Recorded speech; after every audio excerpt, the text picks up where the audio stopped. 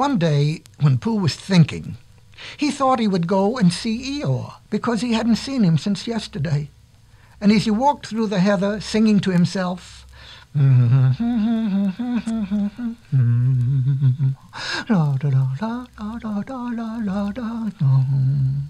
he suddenly remembered that he hadn't seen Owl since the day before yesterday, and so he thought that he would just look in into the hundred acre wood on the way and see if Owl was at home. Well, he went on singing until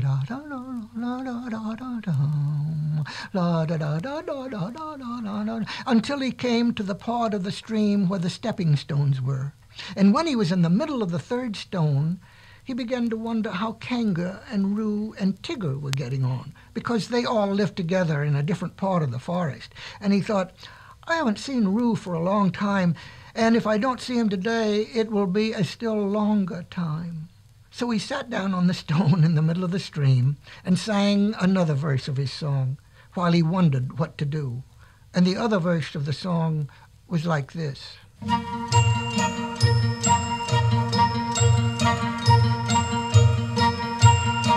could spend a happy morning seeing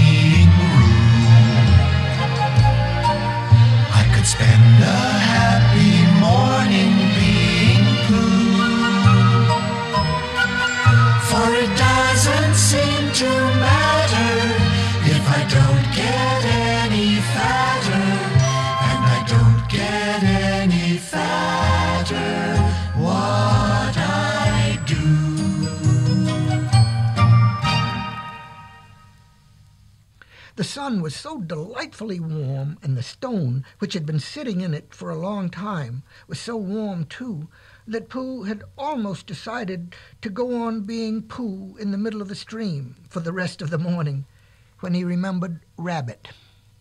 Rabbit, said Pooh to himself, I like talking to Rabbit. He talks about sensible things. He doesn't use long, difficult words like owl. He uses short, easy words like, what about lunch? And help yourself, Pooh. I suppose really I ought to go see Rabbit, which made him think of another verse.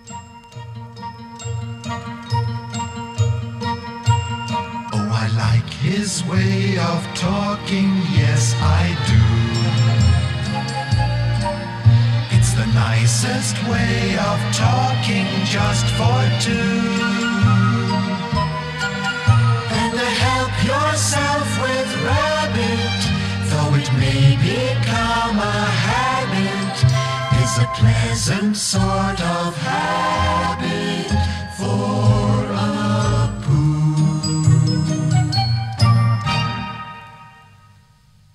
So he got up off his stone, walked back across the stream, and set off for Rabbit's house.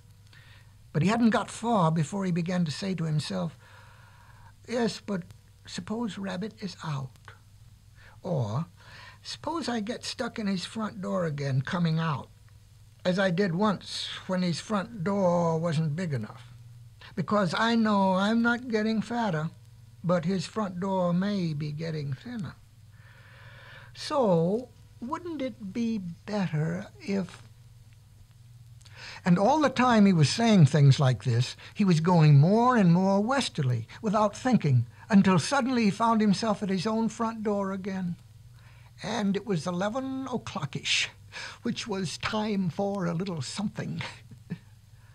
Half an hour later, he was doing what he had always really meant to do. He was stumping off to Piglet's house. Piglet was busy digging a small hole in the ground outside his house. Hello, Piglet. Hello. Hello, Pooh. I knew it was you. Uh, so did I. What are you doing? I'm planting a acorn, Pooh, so that it can grow up into an oak tree and have lots of acorns just outside the front door instead of having to walk miles and miles. Uh, do you see, Pooh? Well, suppose it doesn't. It will, because Christopher Robin says it will. So that's why I'm planting it.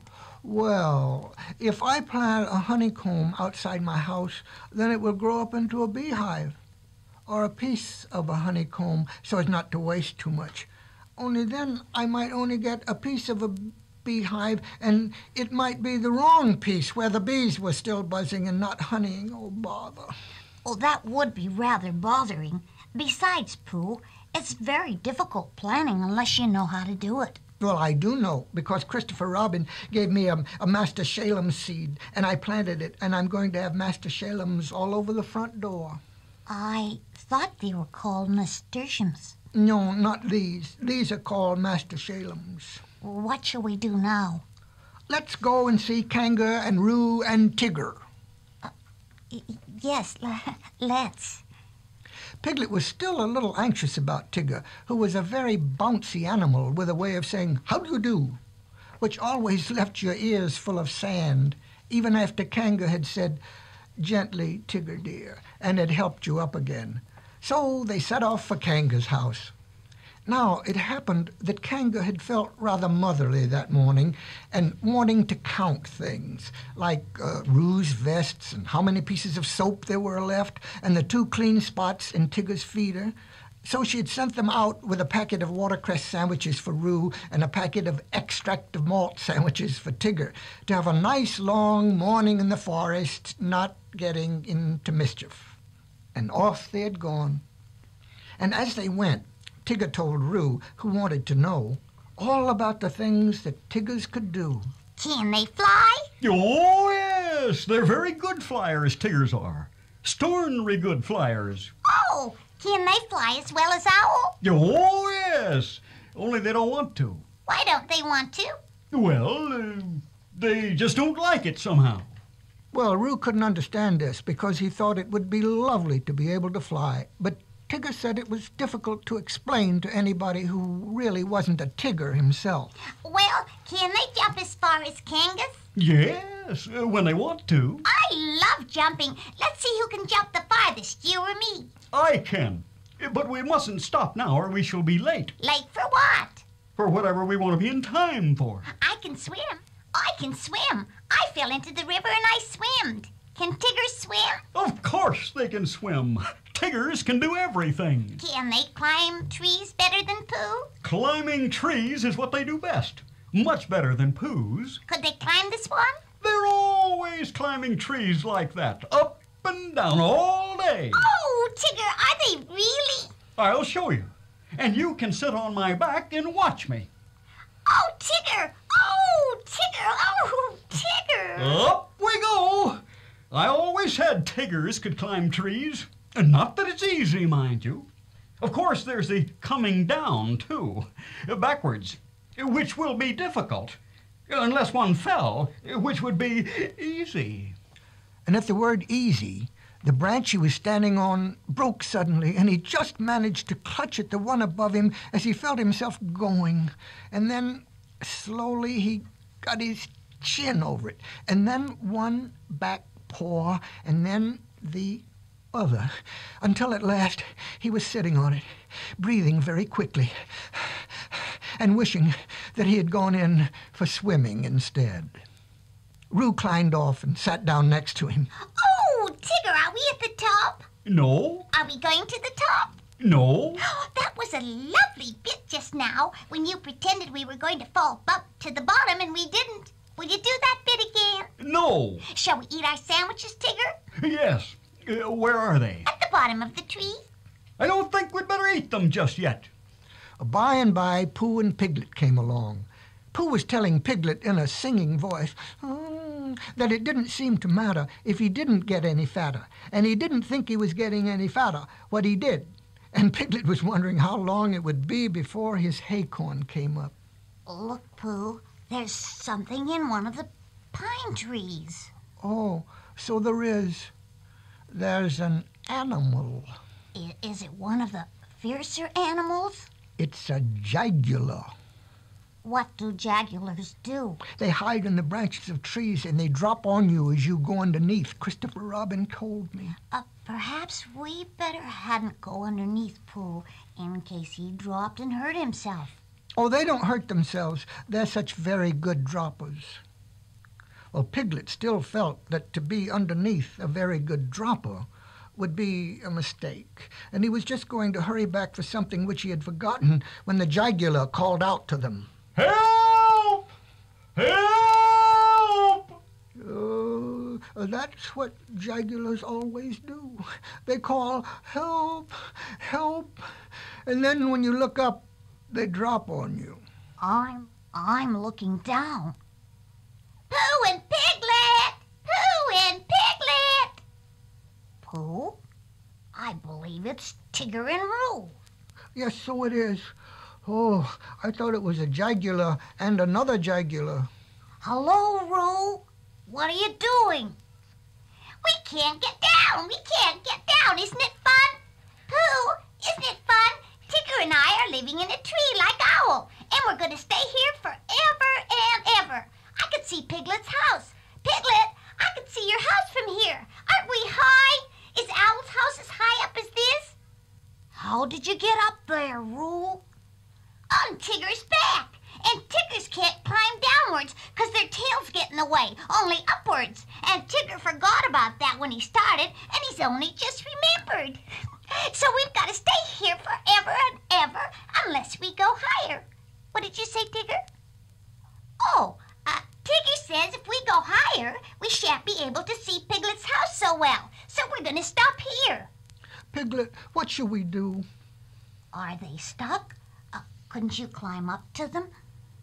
Well, I might, Piglet, and I might bring Roo down on my back, but I couldn't bring Tigger down. So we must think of something else. Think, think, think. And, in a thoughtful way, Pooh began eating Tigger and Roo's sandwiches. Well, whether he would have thought of anything before he had finished the last sandwich, I don't know. But he had just got to the last but one when there was a crackling in the bracken, and Christopher Robin and Eeyore came strolling along together. I shouldn't be surprised if it hailed a good deal tomorrow. Blizzards and whatnot. Being fine today doesn't mean anything. It has no significance. Uh, signif- uh, oh, what's that word? Well, it has none of that. It's just a small piece of weather. There's Pooh. Hello, Pooh. It's Christopher Robin. He'll know what to do. Oh, Christopher Robin. And Eeyore. Tigger and Roo are right up the six pine trees and they can't get down. And I was just saying that if only Christopher Robin, And Eeyore. if only you were here, then we could think of something to do. I thought that if Eeyore stood at the bottom of the tree, and if Pooh stood on Eeyore's back, and if I stood on Pooh's shoulders, And if Eeyore's back snapped suddenly, then we could all laugh. Ha ha. Well, it's amusing in a quiet way, but it's not really helpful. well, I I thought Would it break your back, Eeyore? Well, that's what would be so interesting, Pooh. Not being quite sure till uh, afterwards. Oh, I've got an idea. Listen to this, Piglet, and then you'll know what we're trying to do. I'll take off my tunic and we'll each hold a corner. And then Roo and Tigger can jump into it. And it will be all soft and bouncy for them. And they won't hurt themselves. Getting Tigger down and not hurting anybody. Keep those two ideas in your head, Piglet, and you'll be all right. but Piglet wasn't listening. He was so agog at the thought of seeing Christopher Robin's blue braces again. He had only seen them once before, when he was very much younger, and being a little overexcited by them, he had had to go to bed half an hour earlier than usual. And he had always wondered since if they were really as blue and as bracing as he had thought them. So when Christopher Robin took his tunic off, and they were, he felt quite friendly to Eeyore again and held the corner of the tunic next to him and smiled happily at him. Now, I'm not saying there won't be an accident now, mind you. They're funny things, accidents. You never have 'em till you're having 'em. Tigger, Tigger, we're gonna jump. Look at me jumping, Tigger. Like flying, my jumping will be. Can Tiggers do it? I'm coming, Christopher Robin. And Roo jumped straight into the middle of the tunic. And he was going so fast that he bounced up again almost as high as where he was before. And he went on bouncing and saying, ooh, for quite a long time. And then at last he stopped and said, ooh, lovely. And they put him on the ground. Come on, Tigger, it's easy. But, but Tigger was holding on to the branch and saying to himself, it's all very well for jumping animals like kangaroos, but it's quite different for swimming animals like Tiggers. And he thought of himself floating on his back down a river or striking out from one island to another. And he felt that that was really the life for a tigger. Come, come along. You'll be all right. Just wait a moment. Small piece of bark in my eye. Come on, it's easy. Look out! There was a crash and a tearing noise and a confused heap of everybody on the ground. Christopher Robin and Pooh and Piglet picked themselves up first, and then they picked Tigger up. And underneath everybody else was Eeyore. Oh, Eeyore, are you hurt? Is Tigger here? Yes, Tigger's here. Well, just thank him for me. And the moral of this little story is that Tiggers don't climb trees. Very well, that is. The end. Winnie the Pooh, Winnie the Pooh,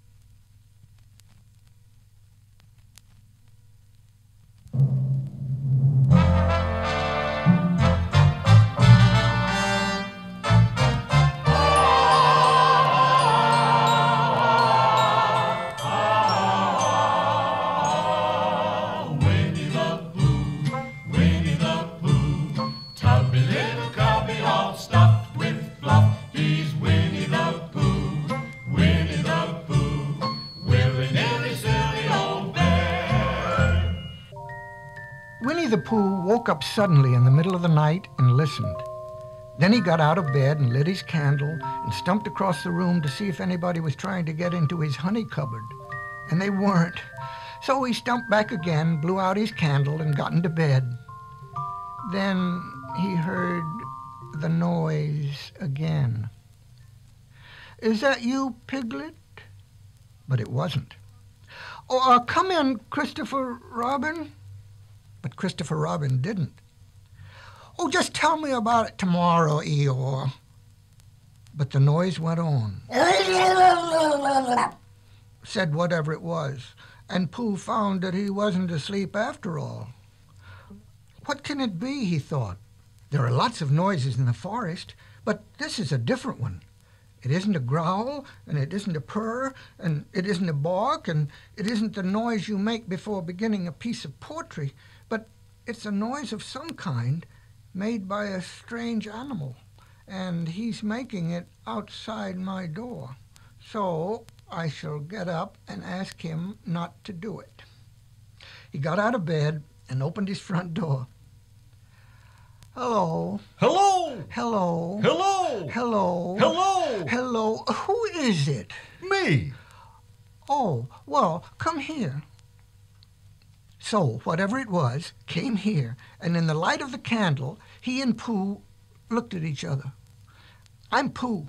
I'm Tigger. Oh, does Christopher Robin know about you? Of course he does. Well, it's the middle of the night, which is a good time for going to sleep. And tomorrow morning, we'll have some honey for breakfast. Do Tiggers like honey? Oh, they like everything. Then, if they like going to sleep on the floor, I'll go back to bed and we'll do things in the morning. Good night. When he woke in the morning, the first thing he saw was Tigger sitting in front of the glass and looking at himself. Hello. Hello! Oh, no. I found somebody just like me. I thought I was the only one of them. Pooh got out of bed and began to explain what a looking glass was. But just as he was getting to the interesting part, he was interrupted. Excuse me a moment, but there's something climbing up your table. Well, with one loud,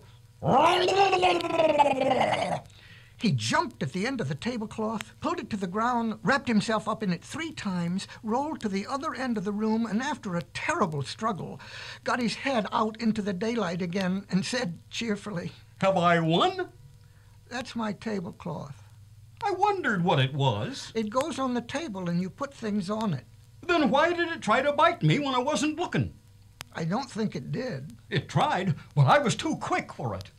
Pooh put the cloth back on the table and he put a large honey pot on the cloth and they sat down to breakfast.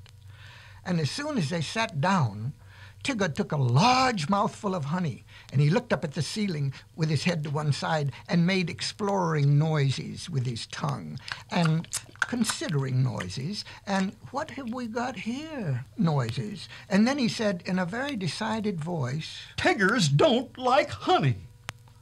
Oh, I thought they liked everything. Everything except honey. Well, Pooh felt rather pleased about this and said that as soon as he had finished his own breakfast, he would take Tigger round to Piglet's house, and Tigger could try some of Piglet's haycorns. So, after breakfast, they went around to see Piglet, and Pooh explained as they went that Piglet was a very small animal who didn't like bouncing, and he asked Tigger not to be too bouncy just at first. And Tigger, who had been hiding behind trees and jumping out at Pooh's shadow when it wasn't looking, said that Tiggers were only bouncy before breakfast, and that as soon as they had had a few haycorns, they became very quiet and refined. So by and by they knocked at the door of Piglet's house. Uh, hello, Pooh. Hello, Piglet. Uh, Piglet, this is Tigger. Oh, is it? I thought Tiggers were smaller than that. Not the big ones. They like haycorns, so that's what we've come for. Because poor Tigger hasn't had any breakfast yet. Help yourself. So you're Tigger. Well, well. Yours. Excuse me. Tiggers don't like acorns. But you said they liked anything except honey. Everything except honey and acorns. Oh, I see. Oh, what about thistles? Thistles is what Tigger's like best. Then let's go along and see Eeyore. So the three of them went, and after they had walked and walked and walked, they came to the part of the forest where Eeyore was. Hello, Eeyore. Uh, Eeyore, this is Tigger. What is? This. Yes.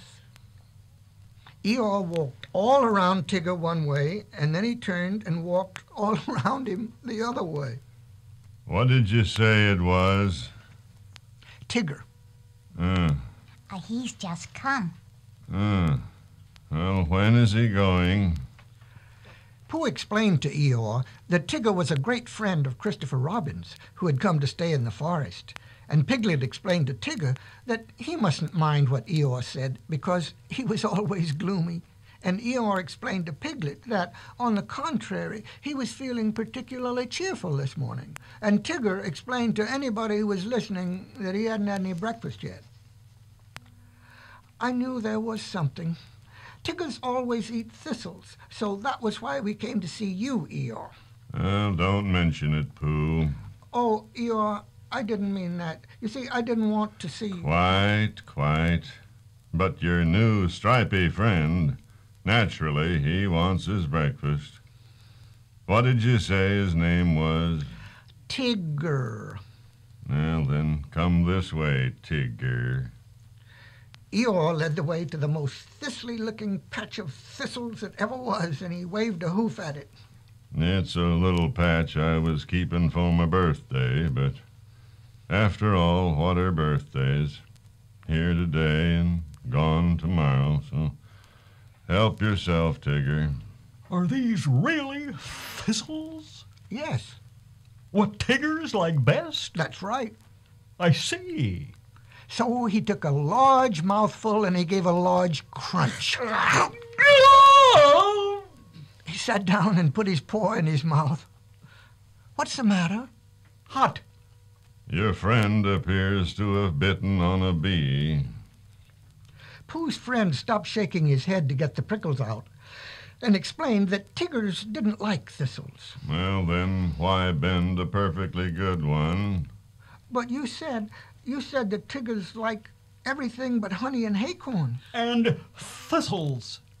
Well, Tigger was now running around in circles with his tongue hanging out. Pooh looked at him sadly. What are we going to do? Oh, we must go at once and see Christopher Robin. You'll find him with Kanga. Um, could you ask your friend to do his exercises somewhere else? I shall be having lunch directly, and I don't want it bounced on just before I begin.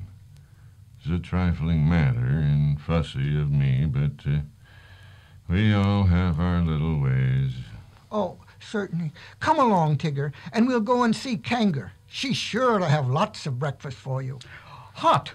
Come on. Pooh and Piglet walked slowly after him, and as they walked, Piglet said nothing because he couldn't think of anything. And Pooh said nothing because he was thinking of a poem. And when he thought of it, he began. What shall we do about poor little Tigger? If he never eats nothing, he'll never get bigger. He doesn't like honey and acorns and thistles because of the taste and because of the bristles. And all the good things which an animal likes have the wrong sort of swallow or too many spikes. He's big enough anyhow.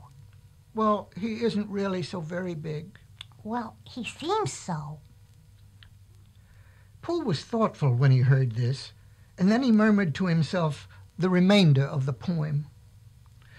But whatever his weight in pounds, shillings, and ounces, he always seems bigger because of his bounces.